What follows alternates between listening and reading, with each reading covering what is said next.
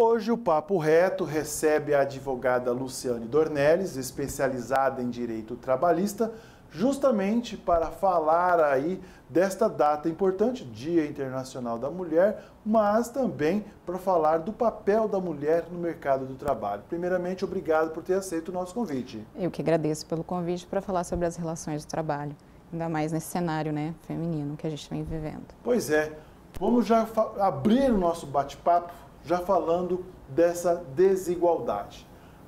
O cenário atual, 2024, para tempos anteriores, como é que está? Olha, é, eu vejo que vem é, modificando muito. Antigamente as mulheres elas eram mais do lar, né? E hoje elas vêm se qualificando. É, tem algumas, né? Uma nova geração que vem é, se é, profissionalizando, fazendo faculdade, é, colocando a profissão mesmo em é, primeiro lugar. E tem aquelas que não houve em momento oportuno para se qualificar, mas que hoje quer ajudar na renda familiar e vai para é, situações mais artesanais, como é, manicure, é, confeitaria. Então, elas estão se qualificando para ajudar na renda familiar. Ou seja, os desafios ainda é muito grande. Muito grande. Não é mesmo? Sim. E quando a gente fala desses desafios em mercado de trabalho, muitas dificuldades que são especificamente das mulheres, atingem muito fortemente elas. Quais são? Então, na hora da contratação, muitas empresas ainda preferem é, o gênero masculino do que o feminino. A gente sabe que as mulheres elas são amparadas pela legislação em muitas situações, principalmente na gestação.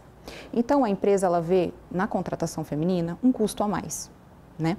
Quando se contrata a mulher, ela tem direito né, a várias situações, como a estabilidade no emprego e como também é, ao afastamento na, na, no auxílio maternidade.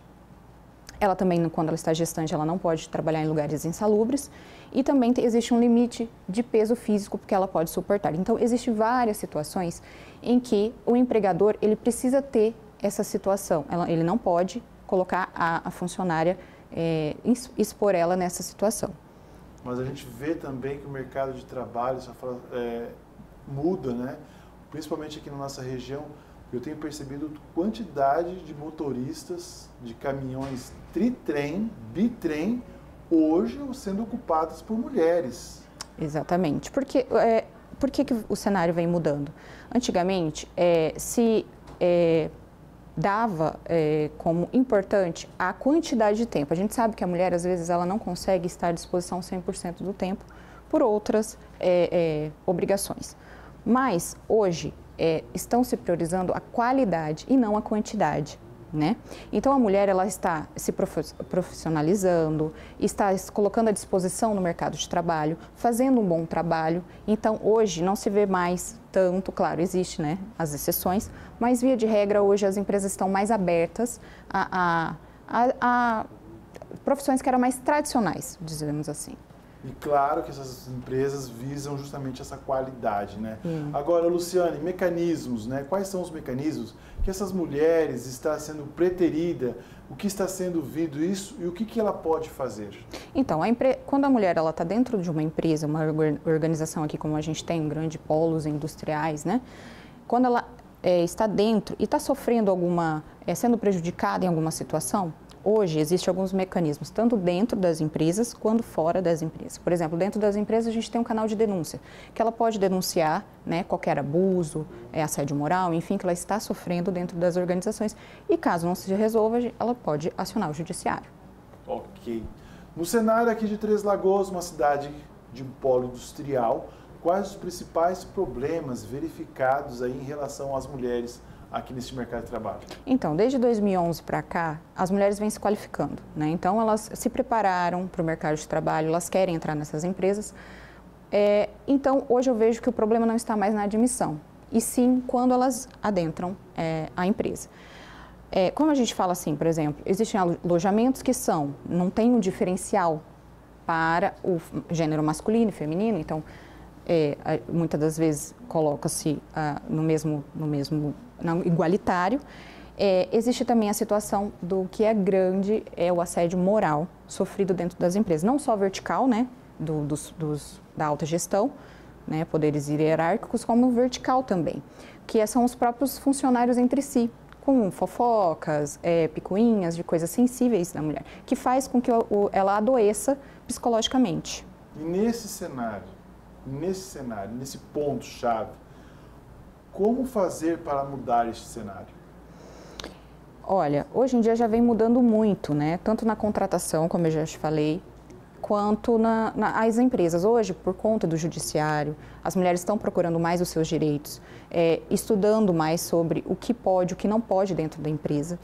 É, elas estão procurando o judiciário e isso faz com que as empresas tomem mais cuidado. Né? Uhum. A partir do momento que ela é lesionada financeiramente, ela começa a ter um olhar para essa situação. Então, hoje existe sim é, a mudança, desde que a mulher se, se, saiba dos seus direitos, né, procure saber e tome as medidas cabíveis. A mulher, por ela ser mais sensível de um, do, do lado emocional, ela ter essa, essa sensibilidade, não de, de ser frágil, porque muita gente confunde a sensibilidade com fragilidade, é totalmente o oposto. Como nós dissemos aqui no início do programa, a minha coordenadora é de jornalismo, é uma mulher, a minha diretora de jornalismo é uma mulher, e é claro que elas têm uma sensibilidade de ver o cenário né, no horizonte diferente do homem. E nessa sensibilidade, as empresas também aprendem mais de mudar, como você falou do alojamento, né?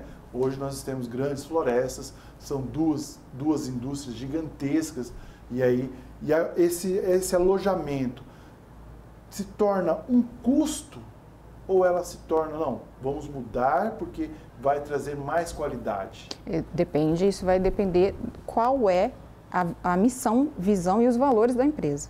Né? Se a empresa verificar que, não, eu, eu viso produção, não me importa se é homem, se é mulher, colocar todo mundo junto, não vou adequar, ela, ela vai sofrer isso penalidades. Agora, se a, se a, empresa começa a ter esse olhar mais sensível, né, onde ele fala assim, poxa, eu vou diminuir os meus custos judiciários, vou adequar, vou trazer um ambiente mais saudável, então, e a produtividade é, aumenta com isso, é, pode ser muito assim relevante para as empresas. Então, Agora, Luciane, é notório que a produtividade praticamente dobra. Exatamente. Quando se tem inserido neste mercado, neste mundo aí, em todas as categorias de uma empresa, de todas as fases de uma organização, mulheres, não é mesmo? Exatamente.